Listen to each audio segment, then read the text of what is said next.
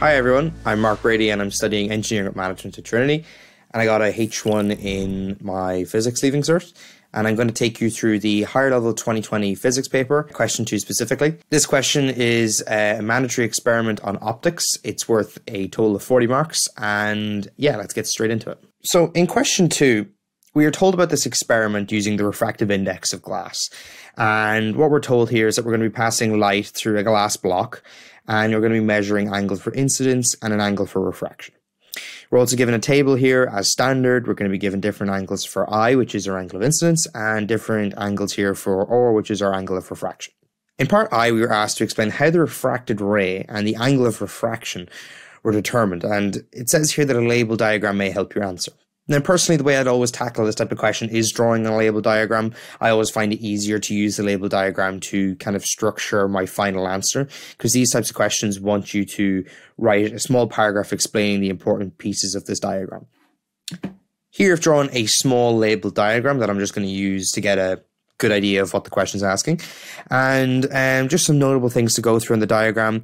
And um, the dotted line in the background is just going to be the piece of paper or the sheet which the glass block is pasted on. The glass block itself is outlined in this kind of plum color uh, here as well. And using another key things to note about this is we have a small ray box here in the bottom which is going to have a uh, ray passing out of it. It's going to go into the glass block. It's going to uh, refract and then it's going to come out the other side. As well as this, I have also marked in a few of the angles. This is just helps me to keep track of kind of which angles which. And um, the angle I here beside the ray box is our angle of incidence and the angle R on the other side is our angle of refraction. As well as this, we have several pins marked in as well. These are kind of used to trace out the beam uh, and how it strikes the paper. And the reason that we need this is we need this later on for um, using a protractor to measure the angles of incidence and the angle of refraction. Now that we've had a look through the diagram, we're going to now tackle the question head on, which is explaining how the refracted ray and the angle of refraction were actually determined. So as I said earlier, we're going to be using a protractor, but the method shown below is the kind of standard protocol to this question. And it says by using a ray box and pins, the laser passing through the ray can be mapped. We can then trace the block onto a piece of paper and draw in the normal. Finally, we can measure the angle of incidence and the angle of refraction in the glass block by using a protractor. So what this means basically is once we've placed the glass block down on our piece of paper, we trace it around with a pencil, and then we take our ray box and we fire a ray into the glass. Once we've passed a ray through the glass, we use pins to map out this ray. Then what we do is remove all of the hardware, just leaving a piece of paper with our trace block and several pins in it. Then we trace the line here for the ray through the pins into the glass block and out the other side. And then what we use is our protractor to calculate the angle of incidence and the angle of refraction, as we said earlier. This part of the question was worth a total of nine marks, and it's a great place to pick up marks because this is just a straightforward definition that comes up every time. It's a very easy thing to pick up marks with. So as I was saying, it's worth a total of nine marks, and this was broken down into three sets of three marks. You got three marks for mentioning that you have to use a ray box and a laser in order to determine the angle. So we're going to put a three up here.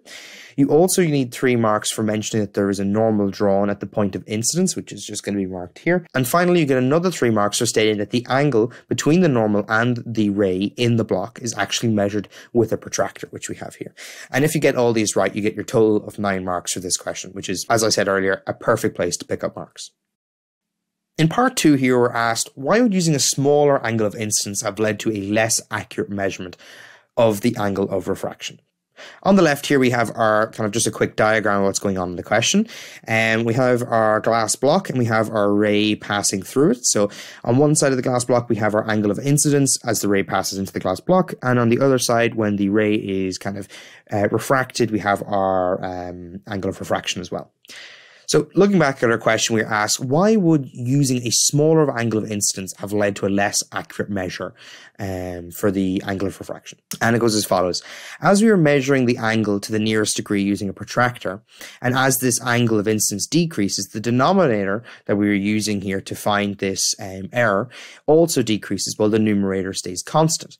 This means is as the denominator gets smaller um, in a fraction, it means that the uh, overall fraction gets bigger. And since this is the error term, as this gets bigger, it causes the error itself to get bigger. So if you can think about like that, as the angle of instance, which is going to be on the bottom half of this fraction, um, for the error is going to get smaller and smaller and smaller, this is going to cause the overall fraction to get bigger and bigger and bigger. And that means that the error overall grows. So this part of the question is worth a total of six marks, and it was broken down as follows. You got three marks for talking about this smaller angle and actually decreasing this angle of instance, and you got a final three marks for measuring that there's a greater percentage error, which in this case comes from the fact that as the angle of instance decreases, it's the denominator of the fraction which causes the overall fraction to get bigger, therefore creating a larger percentage of error. In part three, we are asked to use the data given to us in the above question to verify Snell's law. And the first thing here is to identify what Snell's law. And if you can't remember, Snell's law is that the sine of the angle of instance I is directly proportional to the sine of the angle of refraction R. And basically, this means that we need to plot sine I versus sine R in order to verify Snell's law. What you may notice at the start of the question is we are given a table of the angles of instance and the angles of refraction seen in this table here on the right. Now this is all good data that we can use, but we must convert this to the sine of the angle of instance and the sine of the angle of refraction, because as we know, Snell's law is the sine of I is directly proportional to the sine of R. Therefore, we must convert this above table into this second table here. This is simply done by putting in every angle into your calculator and calculating the sine of it. So for example, if you wanted to calculate the angle 30 degrees, all you have to do is put sine of 30 degrees into your calculator and you get 0.5. And this is where this number comes from. You repeat this for every angle given in the table, 30 degrees, 40 degrees, and all of the angles of instance, and repeat this for all of the angles of refraction. This then gives us x and y coordinates for our data that we can plot on our graph. As we said earlier, Snell's law says that the sine of i is directly proportional to the sine of r. What this means is that we're going to plot sine i versus sine r, and in this case we're going to put sine i on the y-axis and sine r on the x-axis. As we can see in the graph on the left, here we have our sine of the angle of incidence, which is going to be on our y-axis, and our sine of the angle of refraction, which is going to be on our x-axis. And using all of the data given in the new converted set, sine i, sine r, we can then plot each of these points as we see here in this plum color on our graph. And what you're going to have is in total you will have six points because there are six pieces of data, one, two, three, four, five, and six.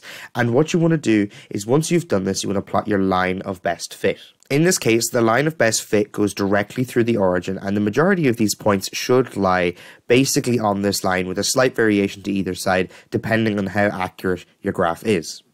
By doing this, we thereby verify Snell's law as on the left we have sine i and on the right we have sine r and we have a straight line graph going through the origin meaning that these two are directly proportional and therefore we have completed the question. Part 3 was worth a total of 12 marks, and you got 3 marks for labeling your axes of the graph correctly. Now, I can't overstate the importance of labeling your graph correctly, and this is, you know, following all the steps that you normally would, giving it a title, labeling the axes, and giving the units that it's measured in is also an important thing. And also, when you're plotting your data points, I always find it's good to draw a circle around them so that it makes it obvious to the examiner where they are, because if you're using only one colored pen in the exam, they might get, you know, difficult to see. Also, drawing your line of best fit, it's important to try and get as many of the points as close to the line as possible. Another three marks are going for the six points that we plotted on the line. Another three points we're going for the straight line with a good fit, which we have here in our purple. This is your line of best fit. And your final three marks were for, of course, doing the correct conversion for all of the angles of I and the angles of R into their respective sine values. This gives us our total of 12 marks. In part four, we're asked to explain how this graph verifies Snell's law. And as I said earlier, we kind of touched on how it does this, but I've written out a small, kind of more detailed answer explaining this, and this is kind of what you're expected to do in the exam as well. So what I have here is that the above graph has a straight line that goes to the origin. This means that sine i is proportional to sine r with a constant slope, which is the refractive index of the material. In this case, it would be the refractive index for glass. Now, the last bit there saying that this is the refractive index for glass isn't necessarily required, but it's just kind of a good thing to help the examiner understand that you know what you're talking about. As we see in the above graph, we have uh, we had a line that goes straight through the origin, but it also is a straight line. It doesn't bend or anything like that. Uh, and this does mean that sine i, in this case, which I'll represent mathematically, sine i is proportional to sine of 4. And as we said in the formula above, in this case, the ratio of these two together is going to give us a constant known as the refractive index, which we marked as n in the above equation. And yeah, this is a constant, as I said earlier, for the material that you're using, so glass, water, air. And in the last line here, we're just explaining that, that it's the refractive index of glass because the light ray is actually passing into the glass and it is then being refracted. So this is a it's a lovely question because it's purely theory, which means um, if you understand the question and understand kind of the concepts behind it, it's very easy to pick up these marks. There were six marks going for this question. You got three marks of saying that there was a straight line graph, which we have here, and you got another three marks for saying that it goes through the origin, which I have down here.